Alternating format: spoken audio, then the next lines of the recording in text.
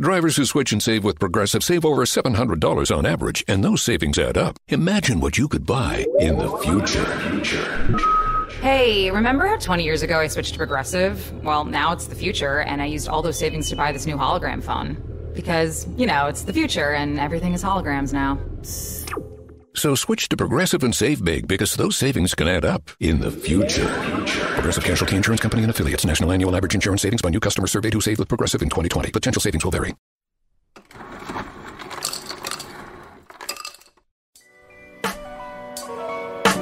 Welcome to the bar. Come on and pull up a seat and open up your Bible. What a wonderful feast. The living bread, and we're discussing what it means for the streets, the inner cities, and the burbs, and every person we meet. This where we challenge worldviews that we hear from world news. In light of the scripture, we are here to serve you. We're your source for resources to help you on your way as you battle mean forces. This is for the people who can see the importance of sound theology and the scripture that support it. And this is for the truth lovers, biblically reforming, preaching Christ the nations. Yeah, welcome to the modern reformation. Yeah. The bar, biblical and reformed.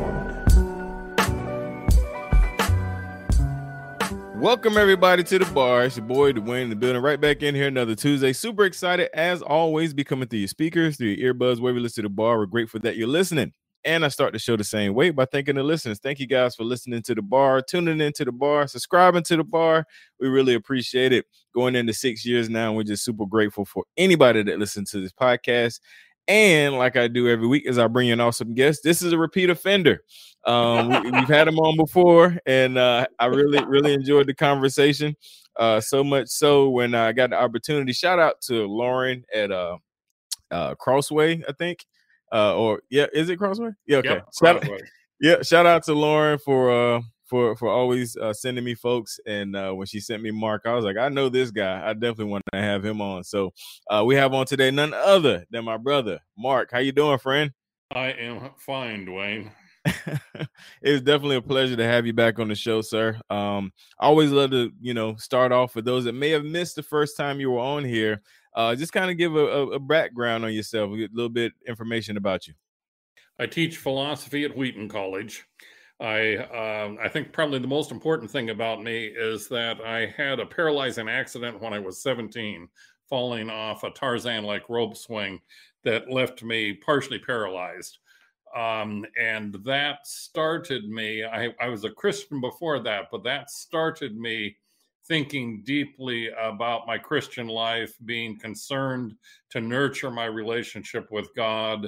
Uh, it led me into being a philosophy professor. And um, ever since, I've been thinking about these issues that have to do with suffering and have to do with our fellowship with God. Yes, sir. Good stuff. And, uh, you know, the first time we had you on, um, and I think you they even sent me that book, and and I I remember um, just really I, I was I was really just blessed by it, you know, just the whole idea of understanding uh, you know, suffering because you know, coming out of the charismatic background, man, is they don't talk about the suffering yep. part. yep. Yep. They don't talk about that aspect, man, and uh, and and that that was that was just really good to just hear, you know, how uh, God still gets glory uh in, in that in that stage of life as well. So we're here because you got another book. Uh, uh, let's let's get into it, man. Let, give me a title and, and let's let's start talking through it. This one is called "Give Me Understanding That I May Live," situating our suffering within God's redemptive plan. Mm. What this book is is the sequel to the first one, Dwayne, which, mm-hmm. as you'll remember, was uh, called "When the Stars Disappear: Help and Hope uh, from Stories of Suffering in Scripture." That first volume was dealing with um, the way that suffering affects us personally. Mm-hmm. This volume is explaining how suffering fits into God's whole plan uh, of what He is doing to bring people to Himself in Christ. Mm. So one way to look at it would be would be this way: we need two kinds of stories in order to live. We need personal stories that orient us in time to where we are, such as you and I right now. Well, you just right. gave part of the story. You and I right now are talking because Lauren ended up contacting you saying, Hey, right. would you like to have Mark Talbot on your show? I had told her I really want to get back on the bar. And mm-hmm. and so you and I both have a story that explains why we're here right now and that mm. orients us to life. But in fact, what people also need is a general story. Uh, and it's only in terms of the general story that we can get real hope. Now, mm. there's basically only two kinds of general stories out there right now. There are ones that are bottom up. In other words, they're naturalistic stories that say that we just came about by chance as matter right. ended up banging together in various ways. And then there are top down stories which say that, in fact, we were created, that God planned us. Mm-hmm. Well, of course, the Christian general story is a top down story. Right. And it has four parts it has a part of creation, a part of rebellion, a part of redemption, and a part of consummation. What I claim in this second volume is that if we don't know that story, and especially the first and last parts, if we don't know that story, we can't live the lives that God means us to live. Mm, wow. Yeah. No, I that, that makes total sense. Um, just the the that that's the basis. That's the the foundation of yep. uh of, of, of where we are, man. So okay, uh, liking it so far, man. Let's Let, us let's, let's dive in a little deeper, man. What so um I I always kind of like to get a little background. Um what like did you know when you wrote the first one there was going to be a, a volume 2 or like what what was the lead up or you know just talk about that process. Yeah, yeah. Actually, it was going to be all one volume, and okay, fact, it was going to include two more parts beyond mm. these first two, which it will still include. What had happened was that as I was working on the first two parts, I realized that I was going to end up with a 600, 800 page volume, and I thought I don't want to hand that to people who are suffering. And you'll right. remember that the first volume, yes, the text is only 99 pages long yep. because I wanted it to be short so that people who are suffering don't feel as if they're getting something that they can't possibly get through as they're struggling. Yep. Well, what happened was I talked to Crossway and I said, Well, I'd like to split this into two parts, meaning the first two parts and the second two parts. They said, Fine. I went back to them a few days later. I said, I really think it needs to be four parts. Mm. And they were a little hesitant, but then they agreed. So, gotcha. so actually, this has all been planned all along because I think without understanding both the importance of our personal stories, our mm-hmm. individual stories, and understanding God's general story, without those two parts together, we really cannot get properly oriented to our lives in Christ. Yeah, no, no, legit, and uh, and I'm glad you didn't hand a 600 page uh, book to me. Um, it it would have been like, yeah, it was a decent book. I made it some part of the way. that, that's right, Dwayne. I mean, and and especially when people are suffering, they need right. fairly short answers. Yes, and and that was why the first uh, uh, volume just go, dealt with the stories of Naomi and mm-hmm. Job mm-hmm. and Jeremiah and some of the Psalms because I wanted it to be something where people could gain hope by mm-hmm. understanding those stories. Right. But then right. once they've got that, then what I want them to do is to understand what I call the full Christian story of creation, rebellion, redemption, and consummation. Because particularly if we don't if we don't think about creation and consummation, we're just not going to get ourselves properly oriented. Right, right, and that's I mean that's even that's the picture of the gospel, you know, uh, yes, uh, uh, the the gospel message. Um, so is this is this one uh, I guess kind of a, a bigger story, or you know, like how how did you break it down uh, in this this volume? Yeah, I actually have individual chapters. The first one on creation, the second one on rebellion, on Adam and Eve's rebellion. The third one um, uh, falls out of the four titles uh, creation, rebellion, redemption, and consummation. It's called suffering because I don't mm. think most of us recognize uh, all the kinds of suffering that we go through. Uh, mm-hmm. To some degree, even when we're doing something like this, where you and I enjoy doing this, it's still work. And at the yes. end of the day, we're tired. Mm-hmm. And so, what I wanted to do was to explain how in Genesis 3, after Adam and Eve had uh, rebelled by eating of the forbidden tree, God, in fact, uh, cursed the ground with Adam in Right. such a way that at the end of the day, he'd be tired having done the work he had done. That's a kind of mild suffering. And we're told that Eve, in fact, would go through great pain when she had children, and there'd always be some tension in her marriage. So, what I wanted to do in that third chapter was I wanted to make clear that we suffer whenever we experience something that is unpleasant enough that we would like it to end. Mm, And I I don't, I- I don't know other people who who've given that definition. We suffer whenever we, uh, uh, whenever we experience something that is unpleasant enough that we'd like it to end, and that can include very small kinds of suffering yes. having a hangnail, being weary at the end of a day of podcasting, all those kinds of things, and then Mhm. really excruciating kinds of suffering.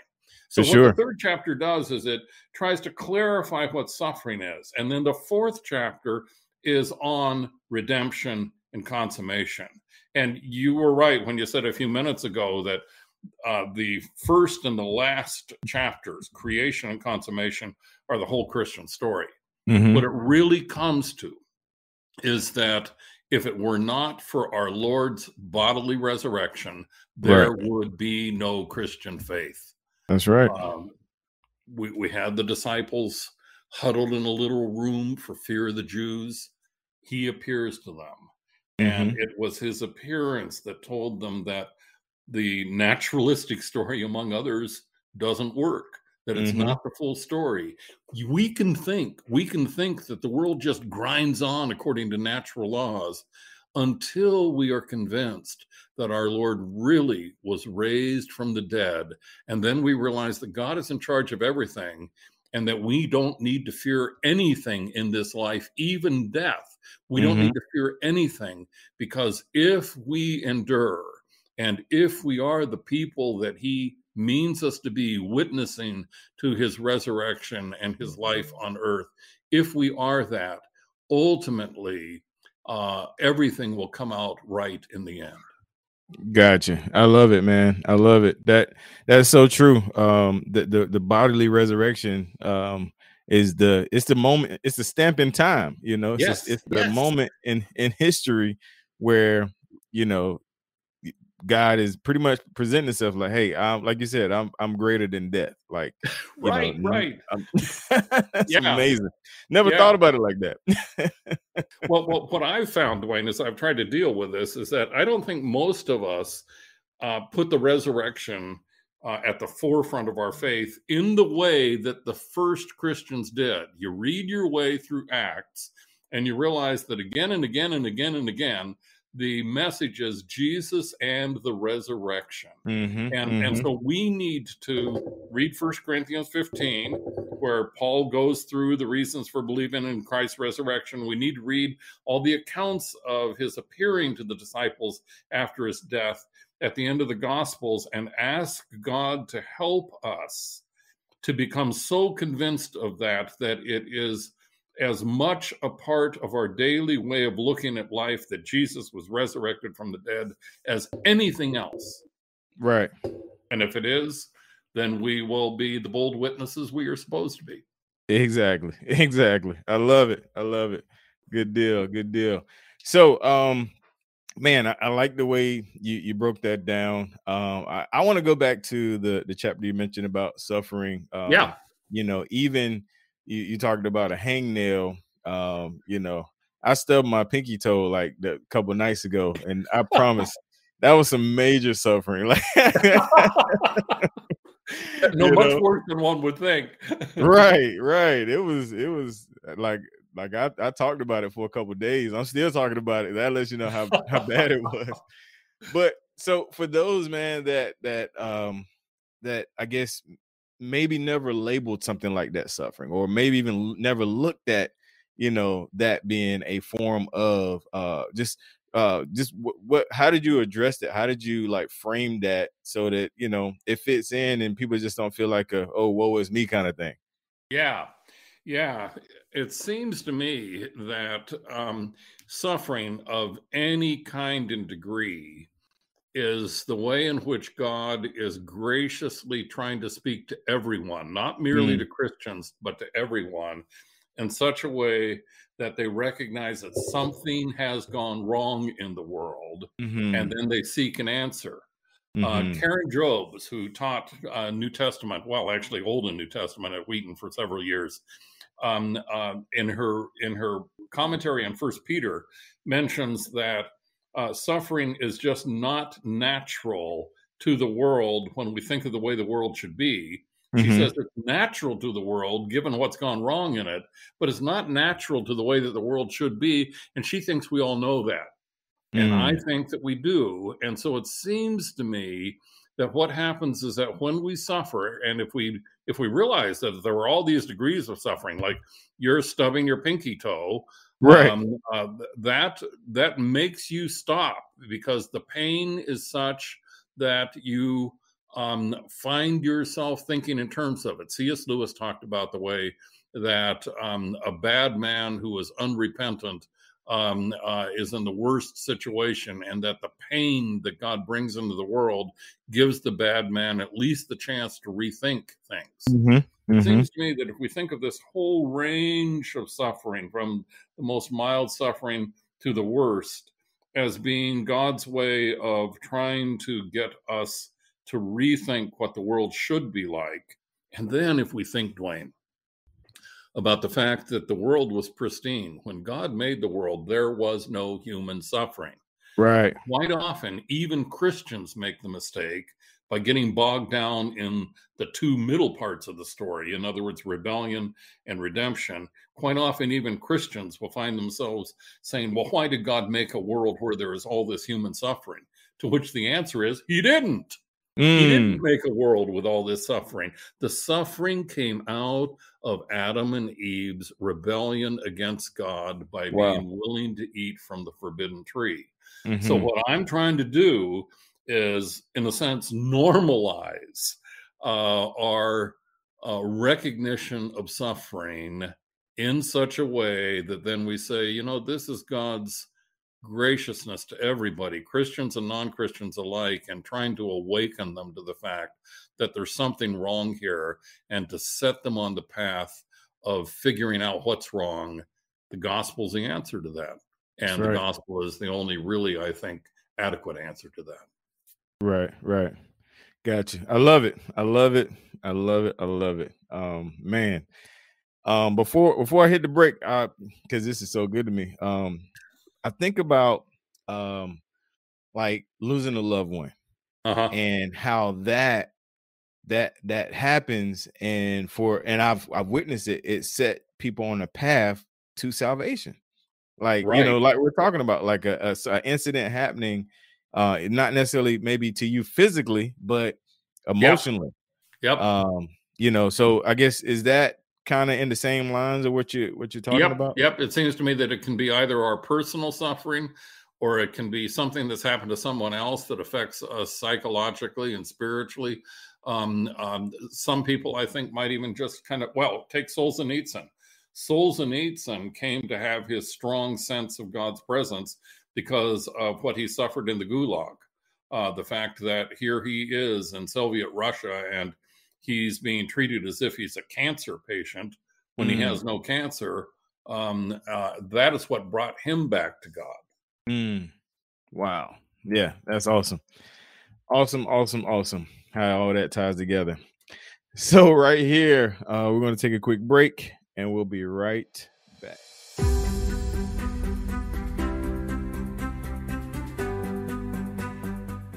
Hello, friends. I'm Billy Rice host of the brand new podcast called Five Minute Theology, a podcast that presents big truths in a bite sized way. Designed for the new and growing believer, Five Minute Theology is a weekly podcast that offers essential truths of the Christian faith in a clear, concise manner. In every episode, we will explore a specific doctrine of the Christian faith from a Reformed Baptist perspective in a way that's easy to digest and apply directly to your life. So, whether you're at home or on the go, let 5 Minute Theology be an excellent little dose of encouragement from the deep truths of God's Word. I pray this podcast is a blessing to you And may you always see that our God is good all the time. And all the time, God is good. For the truth, I'm Pastor Billy, host of 5 Minute Theology. Have a blessed day.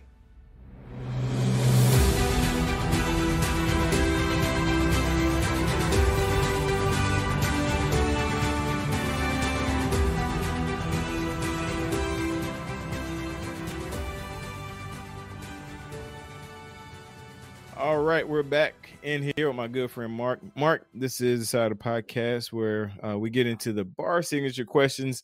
You've already answered these questions, but hey, something may have changed since the last time we've talked.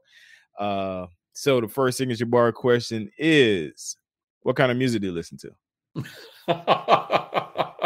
and the answer, like last time, is I don't get to listen to much. I play some classical music on the piano, and and I I love some of the really great classic hymns and mm. some of the more popular Christian music, but I just don't get to listen to much.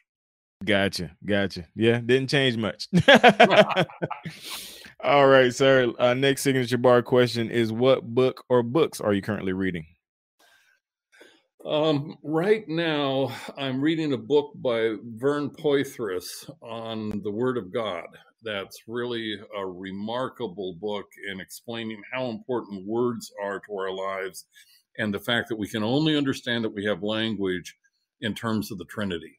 Mm. Um, uh, so that's one of the major books. I'm reading a fair amount of Augustine right now because I'm teaching a course on Augustine in the fall at the college. And so I'm rereading his Confessions, which everyone should read, and mm-hmm. several of his other works. Augustine was just wonderful in uh, understanding the grace of God as the only thing that can bring us back to God in Christ.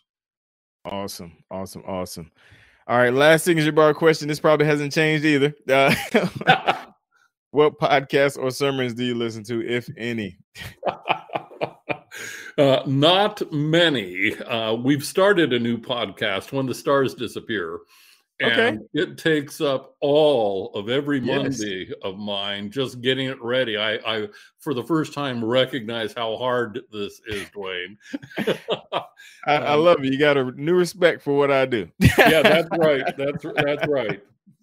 That is awesome. Well, I'm I'm glad you plugged that, man. I'm gonna have to check that out um, for sure.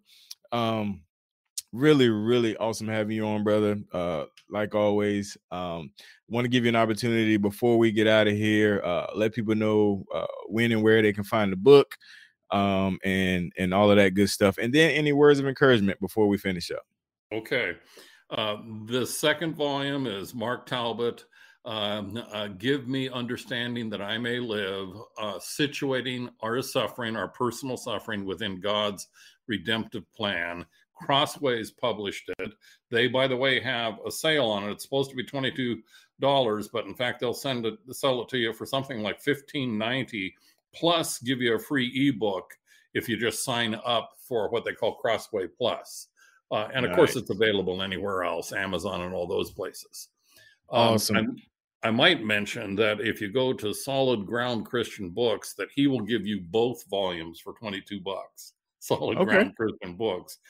So that's that's this particular volume. The place to reach me would be christianscholarsfund.org. All one word, christianscholarsfund.org. Most of my stuff is in fact on that website. Um, if people really want to, they can they can uh, email me directly at mark.talbot, T A L B O T, at Wheaton, W H E A T O N dot edu. Awesome, awesome, awesome. We'll definitely have uh, links to the show notes. I'll get you to send me those by email so I can make sure we copy them in, uh, especially the one where they get the two volumes. I want to give them options. Yeah. Uh, you know, as far as getting the book. So, Mark, thank you again for coming on the show. Super, super honored and uh, and and had fun like we always do. Um, really can't wait to uh, check out the new book and uh, make sure when the other ones come out, you reach out to me again. We bring you back. yeah, yeah, I will. Don't worry, Dwayne. Sounds good, my friend. All right, folks, to the bar podcast listeners, make sure you guys check out the bar podcast every Tuesday, favorite podcast. Go to the barpodcast.com you want to pick up some bar gear, go to bargear.com. If you want to check out the podcast and in the network, there's a network tab on the page. Make sure you check that out. And until next time, you guys, God bless, and we are out. You said, you said.